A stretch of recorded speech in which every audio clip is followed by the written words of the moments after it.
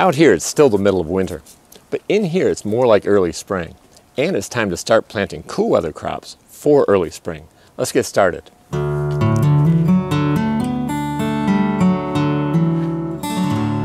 When planting under one or two layers of cover, our rule of thumb is to plant three weeks earlier than we'd normally plant outside, per layer of cover being used. So if we had one layer of cover, we'd plant about three weeks earlier. And here in the hoop house and in our hinge low tunnels, where we have two layers of cover, we plant as much as six weeks earlier than we'd plant outside with no cover. If you'd like to learn more details about when we plant our crops, please see the link in the description to our planting calendar. If you live in a climate that has freezing temperatures during winter, you can also use this calendar. But I'll talk more about that later. For now, let's get started planting. First off, I'll plant sugar snap peas in this open hinge low tunnel, which has two layers of cover. Then as space allows, I'll plant some of these kale, collard, and lettuce plants. Assuming the ground is thawed and you don't have a lot of snow on the ground, you can plant peas as early as five weeks before your last frost date. Applying our three weeks earlier per layer of cover rule, I've got two layers of cover here. That means I can plant sugar snap peas here 11 weeks before our last frost. It's actually a little less than nine weeks before our last frost, so now is a great time to plant sugar snap peas. I'll be planting these peas in two rows along the north side of the bed and the west side of the bed. I'll be planting them three inches apart, which is the square foot garden spacing. These plants grow to be about six or seven feet tall, so when the time comes, I'll remove the cover and I'll add trellises for them to climb.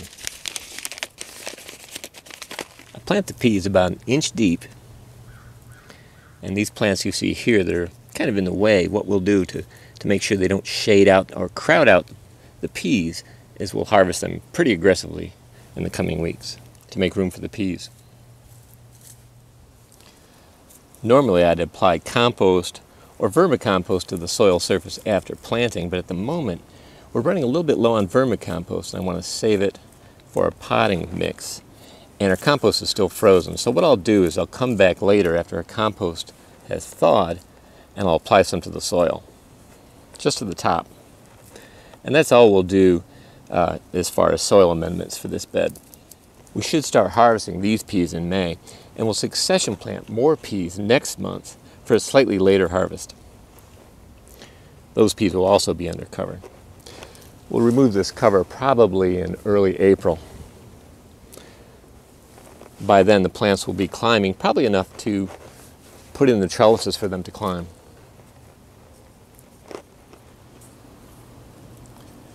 Of course, after planting the peas, I cover them with soil thoroughly and pat down the soil a bit to make sure that they're covered and in contact with the soil.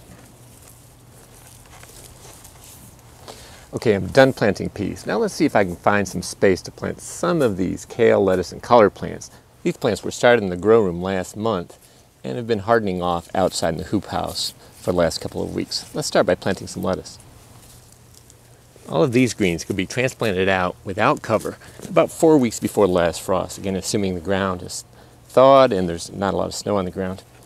You'll also want to check your forecast. But with two layers of cover, I can plant out 10 weeks before the last frost. It's currently nine weeks, so now is a great time to plant.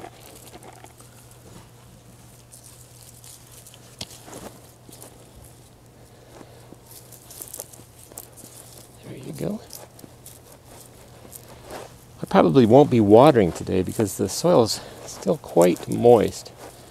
Even though this is covered, we've had a lot of rain and all our snow recently melted and the soil has wicked up a lot of that moisture. So what I'm doing today is planting these wherever I can find a little bit of space. I plant them much closer than recommended on seed packets. And this works well at this time of the year because growth is pretty slow and this gives us more production per square foot.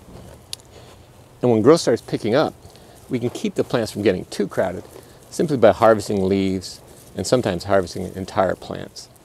We have a lot more of these greens in the grow room and we'll be planting them out as the sun gets higher in the sky and more areas of our garden are getting full sun. Right now, a lot of it's still totally shaded, so it wouldn't make any sense to plant there quite yet.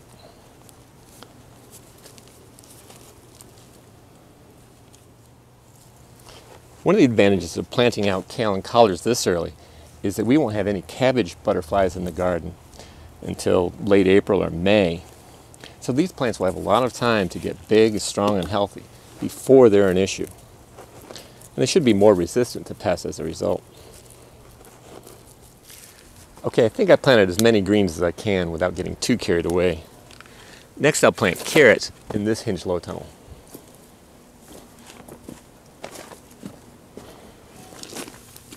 Now it may look like we have a lot more space to plant in this bed, but actually there are a lot of perennials in here, as well as self-sown annuals that are just starting to come up. So there isn't that much space.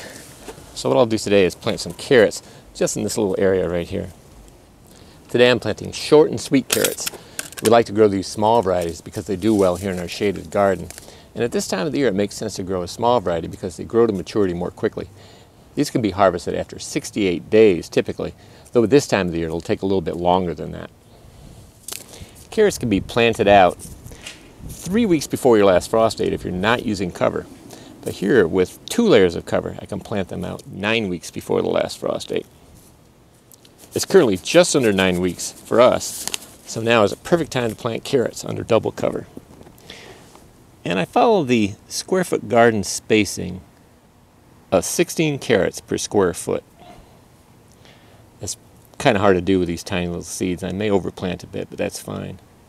We can always thin them out by eating carrots when they're small. I don't thin them out earlier than that. I wait until they're, the roots are large enough to eat and then I thin them out. So I create these tiny little furrows in the soil and what I'll do after I plant is I'll just cover them with a little bit of soil. They don't need much because the seeds are quite small. Even though I'm not planting many carrots today, I'll be back in March and April to plant more. And again, I'm waiting for more parts of the garden to be in full sun. And when that happens, I can plant in those areas as well. But right now, the south side of the garden is, the south third of the garden is in total shade still. Okay, that's the last of the carrots that I'll plant today. Now let's head into the hoop house to plant onions and leeks, which can both be started about 10 weeks before the last frost under double cover. So today I'm planting New York early onions and Musselburgh leeks in the seed tray and cells. And then in early spring, I'll transplant them to the front yard garden. As always, I'm using my standard seed starting mix of 5 parts coco coir, 4 parts perlite or vermiculite, and 3 parts vermicompost from our worm bins. I'll plant the onions and the leeks about an 8 to a quarter inch deep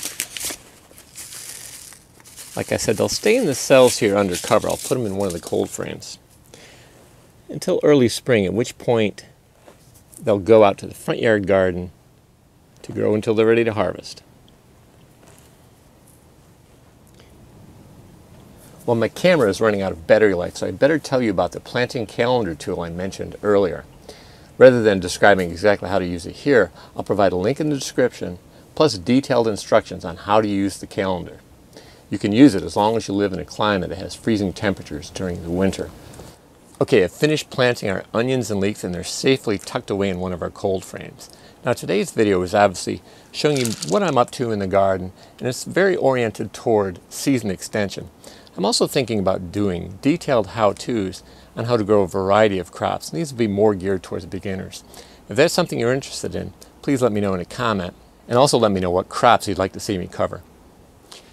If you enjoyed today's video, please give it a thumbs up. And if you haven't already, please subscribe for more videos on how to grow a lot of food on little land without spending much or working harder than you have to.